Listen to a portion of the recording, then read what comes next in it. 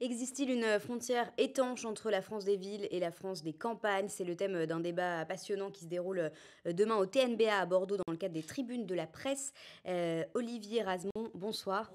Vous êtes donc euh, l'un des deux intervenants de ce débat. Vous êtes journaliste et essayiste et vous avez publié un livre qui s'appelle Comment la France a tué ses villes. Alors ce que vous dites, vous, finalement, c'est que une sorte de fossé infranchissable euh, s'est creusé entre les métropoles et les villes de taille moyenne Non, justement, je dis pas ça.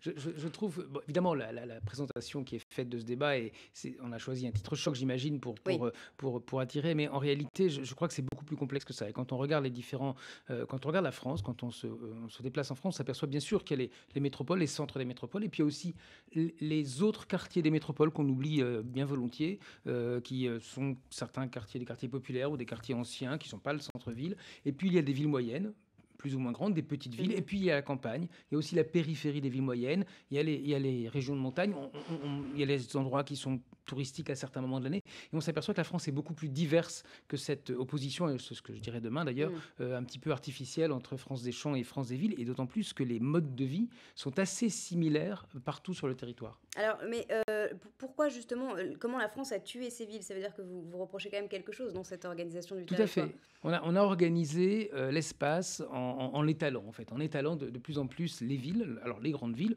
à Bordeaux, on est bien placé pour le savoir, mais également les villes moyennes. Il suffit d'aller voir à Pau, par exemple, le nombre de zones commerciales en particulier, et puis d'équipements de, publics, euh, euh, de, de, zones industrielles qu'on met de plus en plus loin de la ville. C'est vrai, on l'a fait à Pau, on l'a fait à Agen, on l'a fait à Libourne, etc.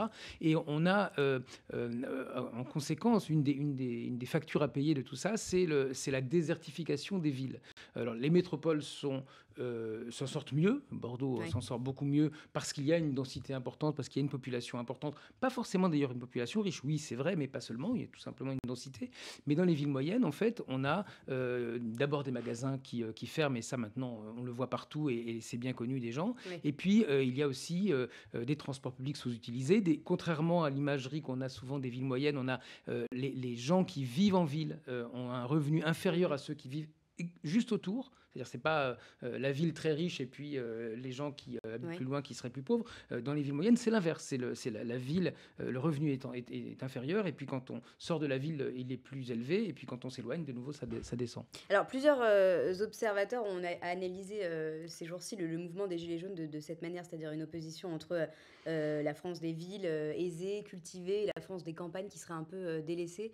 Vous êtes d'accord, vous, avec ça? Là, là, aussi, c'est très caricatural. Euh, quand on observe en réalité l'usage de, de, la voiture et de l'essence, on s'aperçoit qu'il est beaucoup plus élevé dans les, justement dans les régions périphériques des villes plutôt que dans les campagnes. Et en mhm. plus de ça, l'usage de l'essence et l'usage de la voiture et le nombre de kilomètres parcourus augmentent avec le revenu. Euh, plus on est riche, plus on consomme l'essence et plus on consomme, plus on consomme de voitures. Par contre, il est vrai qu'il y a une, une incompréhension de ces, de ces sujets parce qu'on a finalement dit à beaucoup de gens, d'ailleurs par, par toute une série de moyens, euh, on, leur a vendu ça comme ça. Allez-y, installez-vous. Euh, c'est à 5 minutes de là, c'est à 20 minutes. Euh, euh, le, votre boulot sera à un quart d'heure en voiture, évidemment. et on a organisé l'espace, exactement. C'est exactement ça. On a organisé l'espace en, misant uniquement sur la voiture individuelle. Et on en paye les conséquences aujourd'hui. C'est-à-dire qu'on se dit qu'il y a un problème. on parle du problème du CO2, mais il y a tous les autres problèmes. Il y a celui du bruit, de la pollution, de la, des nuisances sonores, des nuisances de, l'insécurité routière.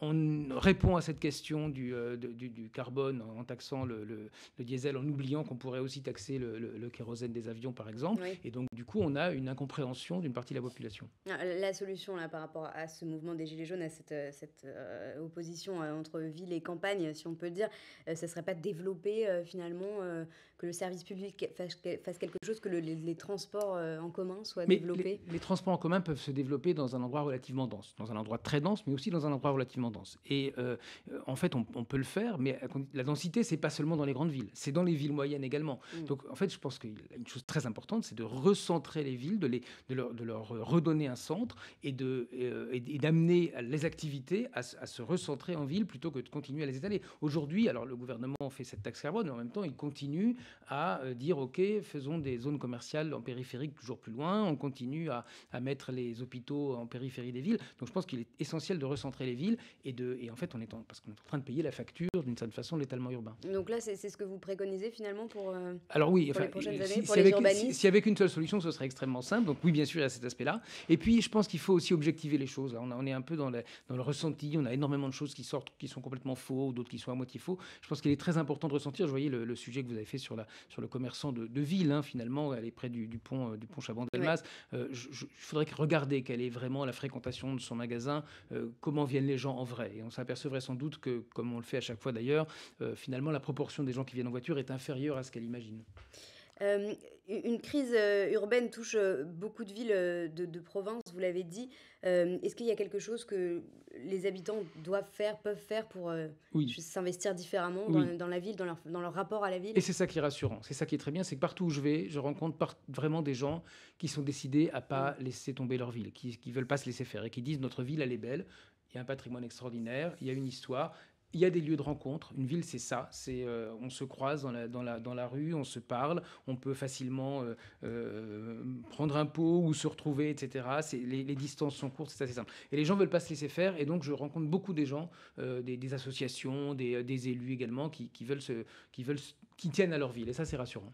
Une dernière question pour, terminer. Euh, est-ce que vous pensez qu'il y a un lien entre le constat que vous faites, c'est-à-dire euh, euh, ces, villes délaissées et du coup ces habitants laissés un peu à l'abandon en périphérie, et ce qui se ressent aujourd'hui, cette année, les années précédentes dans les urnes, c'est-à-dire l'élection de Donald Trump, de de candidats souvent populistes.